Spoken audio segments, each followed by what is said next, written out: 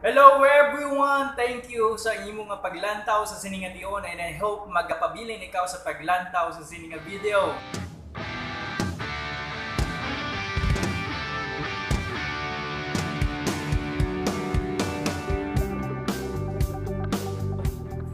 Low back young people, low back young adult, and all the viewers, mabuhay! Praise and glory to our God. So this time our topic is about joy over trials and our text is found in the book of James chapter 1 verses 2 to 4. The word of God says, Consider it pure joy, my brothers and sisters, whenever you face trials of many kinds. Because you know that the testing of your faith produces perseverance. Let perseverance finish its work so that you may be mature and complete, not lacking anything. So the context of the book of James, early Christian Jews, nag-experiensya sila sa mga trials, sa corruption, sa injustice, kag sang ginatawag naton nga kapigaduhon ambal naton nga daw kaangay man sang aton nga eksperyensya sa subong nga tinion nag-eksperyensya kita sang sini nga pandemic kag halos nga part sang aton nga kabuhi naapektuhan gid no madamo sa mga business nga apektado apektado ang aton nga studies ang tourism ang travel bisan ang simbahan nato no apektado kag tanan nga factor sa kabuhi naton nga tawo kag mahambal naton nga pigado naging katama sa subong nga panahon. And because of this, no, some of us are hopeless, some of us nabudlayan sa sini nga sitwasyon. But the writing of James Consider it pure joy, my brothers and sisters, whenever you face trials of many kinds. No? So ano ang butchilingon sini ni James? The James, the half-brother of the Lord Jesus Christ. Tungon nga nag-experiensya sila sa una sa mga pagtilaw. Kag si James nag-encourage sa mga believers and every one of us nga kabigon naton nga kalipay ang ini nga mga pagtilaw. Because the life nga ginhatag sang Ginoo sa aton hindi lang diri maga-end up sa sini nga kalibutan. There is a second life. There is a continuation sa aton kabuhi sa sini nga kalibutan.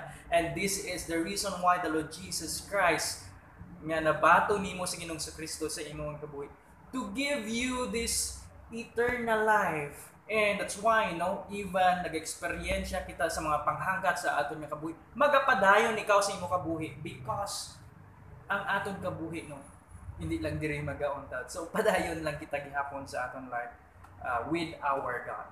Number one the testing of your faith produce perseverance So, kamusta ang aton mga kabuhi sa sining nga pandemic? Ay hanbalang may gana ka pa sa pagpadayon sa imo kabuhi, may gana ka pa sa pagbato sa sining nga mga trials, sining nga mga challenges sa imo nga kabuhi.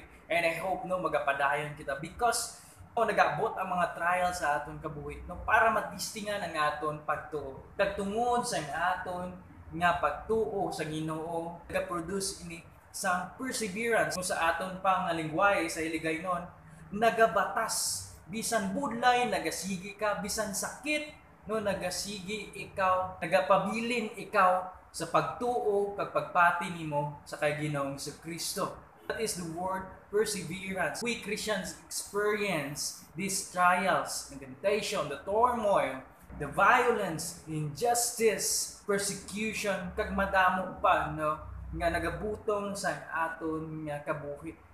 James encourage everyone to remain in our faith in the Lord Jesus Christ. And because of this nga nagapabilin kita sa atong pagtuo sa kay Jesus Christ, nagabunga sang pagbatas. Kag kita nga mga Kristohanon dapat nakabalo kita magbatas sa mga pagtilaw nga nagaabot sa aton kabuhi.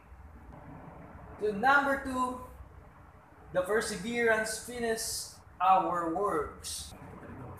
So sa aton nga kabuhi may ara man kita nga mga goal, may ara kita nga mga handom sa aton kabuhi nga gusto naton lambuton. And even in our Christian life, no may ara man kita nga mga lalambuton sa aton nga Christian life. And one of the purpose nga natawo kita sa siningang libutan is to give glory to our God. And that is one of our work. That is one of our tasks nga magapabilin kita nga pagbatas sa tanan ng mga pagtilaw magapabilin ang atong pagdayaw sa aton Ginoo magapabilin ang atong pagserbisyo sa aton nga Ginoo. And then because of your commitment to our God no nagabatas ikaw nagahatag ikaw sing pagdayaw sa aton nga Ginoo. So always remember that the purpose of your life is to give glory to our God So number three, be mature and complete in all trials. So when trial comes sa aton nga kabuhi, ina ang pamalaagyan nga ma-train kita, mahanas kita, nga maging mature kita nga mga Kristohano. So kung wala sang trial sa nga aton kabuhi, wala man sang tsansa nga ma-train kita o ma maging hamtong or maging mature kita nga mga Kristohanan. So that's why we should count or consider the trial is our joy because amo na ning tsansa nga mahanas kita, mag-train kita, mabalaan gid nga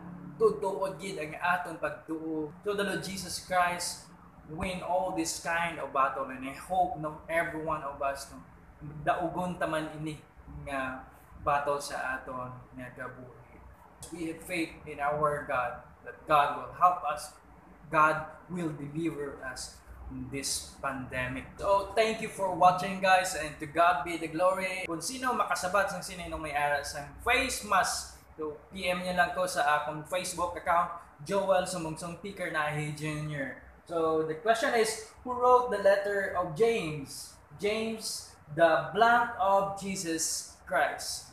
So, let us pray. Our Heavenly Father, Lord, thank you so much, Lord, for this time nga nag-remind sa amon ang mensahe ni James. And we are sure, Lord, na ikaw magabulig sa amon to recover sa sini nga pandemic. Bless every one of us, Lord. Bless all the viewers, Bacolod Evangelical Church, young people and young adult. We bring back all the praises and glory to you. In Jesus' name we pray. Amen. Thank you for watching, guys. Bye-bye. Keep safe!